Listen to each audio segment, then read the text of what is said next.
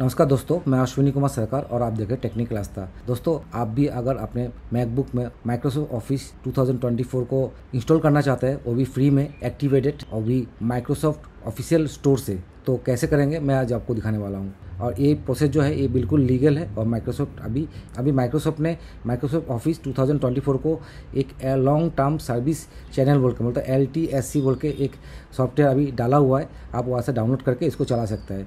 ये डेवलपर के लिए दिया जाता है।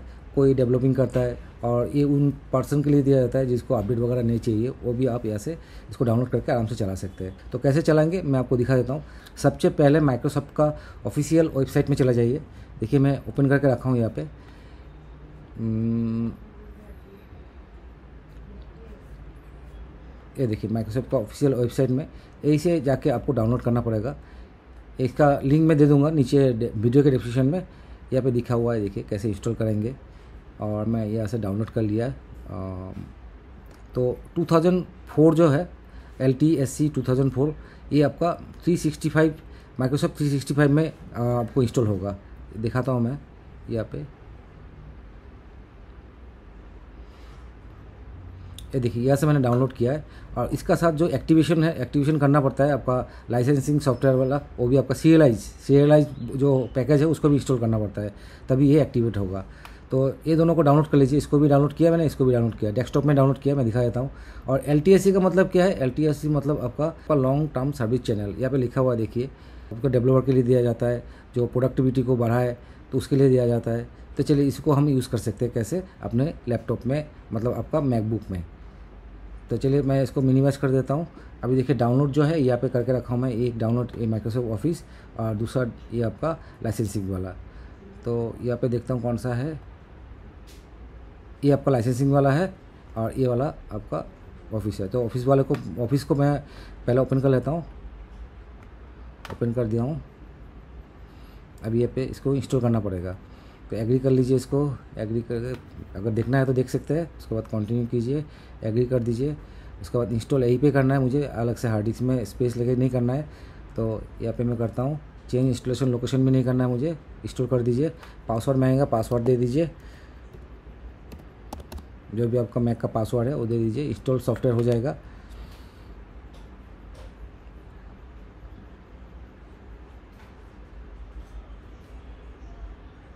थोड़ा सा टाइम लेगा। और मैं भी इसको फ़र्स्ट टाइम ही कर रहा हूँ, क्योंकि मुझे भी मैकबुक में माइक्रोसॉफ्ट ऑफ़िस डालना है। तो मैं सोच रहा हूँ कि इसको माइक्रोसॉफ्ट ऑफ़िस से जब ये फैसिलिटी दे रहा है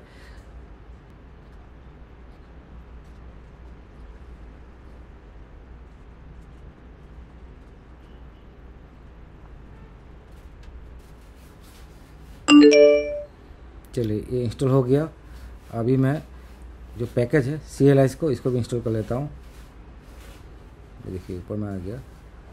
System setting must be change before the Microsoft auto uploader ठीक है सेटिंग में जाके परमिशन देना पड़ेगा। इसको कर देता हूँ ऑन पासवर्ड मांगेगा दे देता हूँ। चलिए ऑन हो गया। इसको क्लोज कर देता हूँ। अभी ट्राई अगन करता हूँ। ट्राई अगन करता हूँ। चलिए, बाद में कर लेंगे इसको। एडवांस में जाके देखता हूँ। बीटा चैनल नहीं ऑटोमेटिकली डाउनलोड इसको आप अपडेट कर, इसको आप यहाँ पे क्लिक कर सकते हैं और नहीं भी कर सकते हैं, कोई प्रॉब्लम नहीं है। तो इसको मैं बाद में देखूँगा। अगर नहीं करने से प्रॉब्लम होता तो फिर बाद में करूँगा। अभी इसकी, अभी इसको स्किप कर देता हूँ।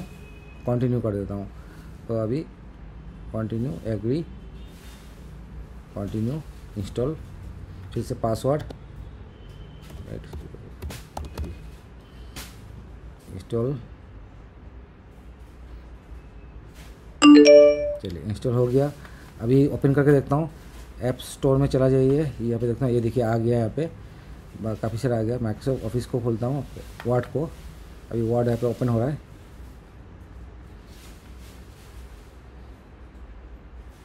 चलिए, यहाँ पे you are on the cutting edge done कर देता हूँ। अभी एक पेज ले लेता हूँ क्रिएट कर लेता हूँ। चलिए, अभी टाइप कर सकता हूँ कि नहीं देखता हूँ।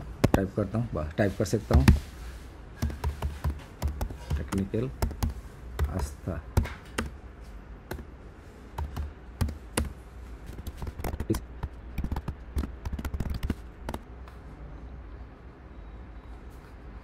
तो यहाँ पे आप इसको सेव कर सकते हैं। सेव कर लीजिए। यहाँ पे सेव कर देता हूँ।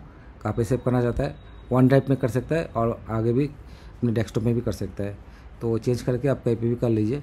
रिसेंट फोल्डर रिसेंट फोल्डर में इसको रिसेंट फोल्डर ही दे देता हूँ। चलिए।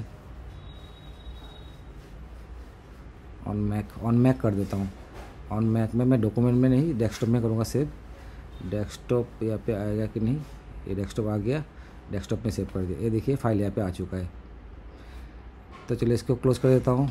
अभी मैं आपको दिखाता हूँ एक्सेल एक्सेल भी ओपन हो रहा है।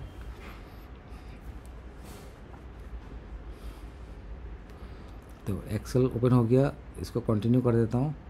Start using Excel got it इसको शॉर्ट कर कर देता हूँ। क्रिएट कर देता हूँ। एक्सेल भी खुल गया। काम आराम से कर सकता हूँ। देखता हूँ। संडे मंडे बढ़िया से काम हो रहा है। तो इस तरह से आप अपना मैक में फ्रीली माइक्रोसॉफ्ट ऑफ़िस 2024 को डाल सकते हैं। देखिए, ये अभी 24 वाला है। अगर 24 वाला होगा तो आपको 365 वाला हो जाएगा, क्योंकि अपग्रेड हो जाएगा। तो तो दोस्तों, इस तरह से आप मेरा तो चलिए इसको सेव कर देता हूँ। सेव सेव में क्लिक किया। मैकबुक में करना है तो ऑन मैक कर देता हूँ डेस्कटॉप में कर देता हूँ तो डेस्कटॉप यहाँ पे आ जाएगा डेस्कटॉप सिलेक्ट कर लेता हूँ डेस्कटॉप में आ गया अब ये दो फ़ाइल आ गया ये देखिए यहाँ पे एक हो गया ये एक्सेल एक्स वाला ये हो गया आपका डॉक एक्स वाला मतलब डॉक्यूमेंट फ़ाइल या एक्सेल फ़ाइल और पावर पॉइंट भी सेम है ऐसा करके कर सकते हैं पावर पॉइंट भी दिखा देता हूँ मैं आपको आ, ये पावर पॉइंट हो गया सभी काम कर रहा है बढ़िया से ये पावर पॉइंट ऑन हो रहा है कंटिन्यू कराता हूँ। पहला टाइम में ये आता है फ़र्स्ट टाइम में। ये देखिए, एक आप चूज़ कर लीजिए। मैं इसको चूज़ कर लिया हूँ क्रिएट कर देता हूँ। ये देखिए यहाँ पे कुछ लिखना है तो लिख सकते हैं। देखिए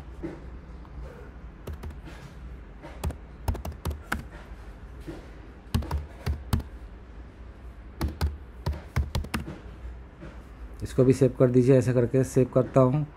ऑन मैक और डॉक्यूमेंट की जगह में मैं यहाँ पे देता हूँ डेस्कटॉप सेव सेव हो गया क्लोज कर देता हूँ। देखिए तीन फ़ाइल सेव हो गया। तो दोस्तों, इस तरह से आप अपना मैकबुक में फ्री में माइक्रोसॉफ्ट ऑफ़िस 2024 को डाउनलोड कर सकते हैं और उसको फ्री में चला भी सकते हैं। तो दोस्तों, मेरा ये वीडियो देखने के लिए बहुत बहुत धन्यवाद। और जिसने इसने मेरे चैनल को अभी तक सब्सक्राइब नहीं किया, जल्दी से सब्सक्राइब कर लीजिए। जय हिंद, वंदे मातरम।